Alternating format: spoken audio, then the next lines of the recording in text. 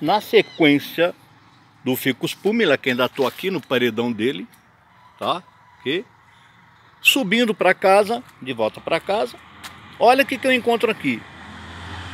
Uma florada maravilhosa que enfeita, é, enfeita a, a, rua, enfeitam as ruas com, com seus estames é, de cor solferina.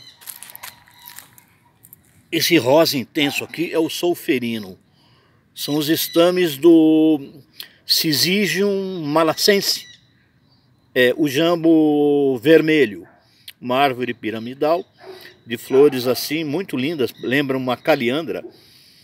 Infelizmente não caiu inteira para mostrar as petalinhas, mas o charme todo dele é justamente é, esse monte de estame que dá essa cor maravilhosa aqui nas calçadas, né? Vocês estão vendo aqui.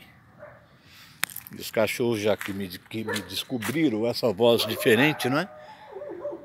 Ó, ele está um pouquinho desfigurado aqui pela poda exagerada, mas a gente está vendo aqui, acho que dá para ver com um pouco de flor, talvez.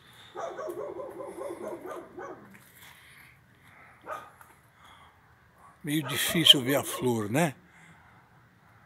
Mas é um jambeiro de rua, ok? Ele é piramidal. Olha lá ele lá. E na vinda para cá eu passei de baixo e tem frutos.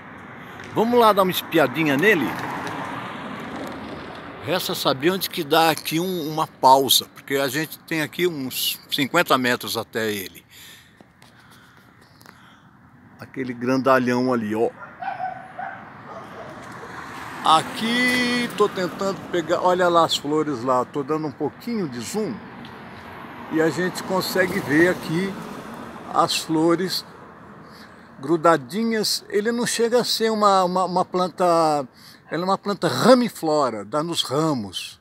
Não chega a ser cauliflora.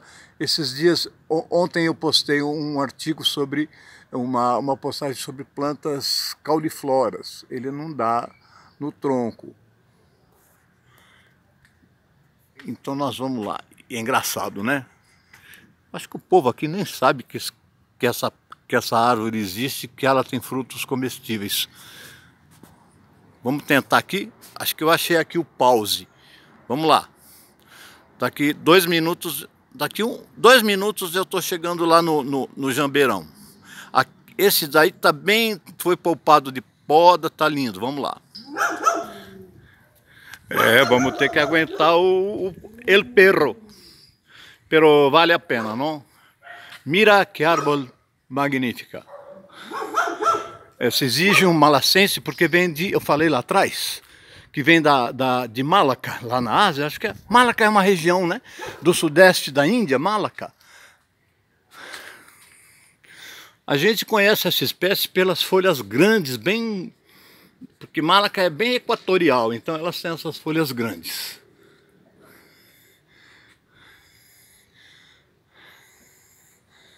Olha só aqui a maravilha, a carga de frutos do jambeiro. Eita, que beleza, hein? Tá carregado aqui, gente cada um gostoso no ponto de se comer. Estamos espiados.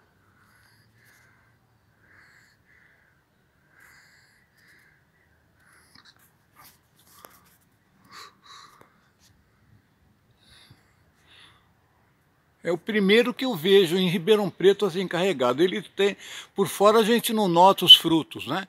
Eu vou dar outro pause aqui porque eu vou conseguir pegar um.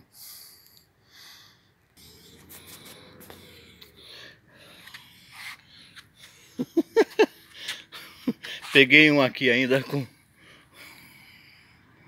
Olha que bacaninha. No sol é pior, né? Mas olha que coisa bonita que é.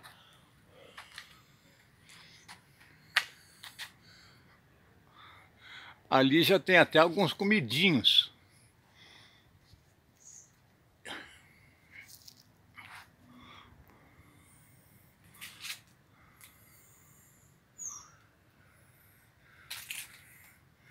É uma árvore bastante horizontal.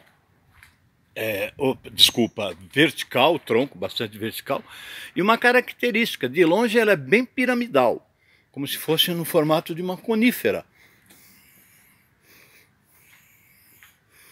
Mais ou menos como essa conífera aqui, talvez um cipreste, eu não sei que conífera é essa, aqui, e quando a gente compara, olha lá o jambeiro, de longe. Eu tô, eu tô contra a luz porque o sol tá para lá, mas você vê que vocês dão uma olhada que é uma árvore bem piramidal. O fruto que eu peguei ainda tem o resto das flores grudadinho nele. Olha que coisa genial. E por dentro, ele bem maduro, ele é aromático. As pessoas dizem que tem sabor de rosas. e vou dar uma mordidinha aqui para ver se a gente vê. É, ele é bem branquinho, parece isopor, para quem não conhece. Hum, já está mais ou menos bom de comer. Vou dar outra mordidinha para mostrar a semente geralmente única é uma baga monospérmica, né? Monos, um esperma semente, ok? Só tem uma semente. Às vezes tem duas.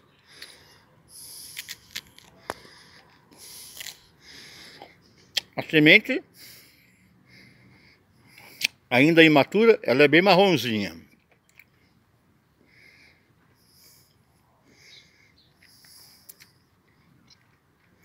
Que falta de educação comendo de boca cheia, mas é tudo pela botânica, gente.